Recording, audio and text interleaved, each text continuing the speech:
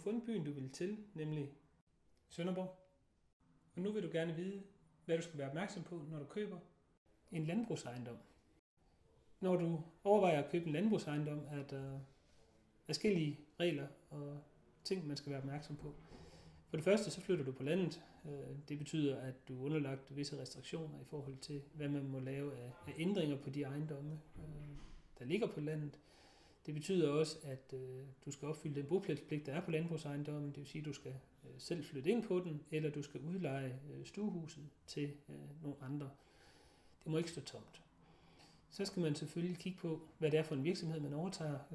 En landbrugsejendom er jo en virksomhed, hvor man enten har noget kvægdrift, eller har noget øh, produktion med, med korn. Eventuelt, at man har, har bortforpagtet øh, dele af landbrugsarealerne.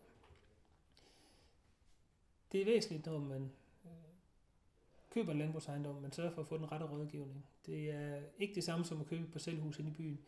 Det er ikke alle boligadvokater, der er uddannet til at rådgive inden for landbrugshandel. Man skal sørge for at øh, få kigget det hele rigtig grundigt igennem, når man øh, flytter på landet. Husk også at være opmærksom på sådan noget som berigtigelse, testamente, samejerkontrakt osv. Det kan du alt sammen høre meget mere om i vores andre videoer, og ellers er du velkommen til at kontakte os.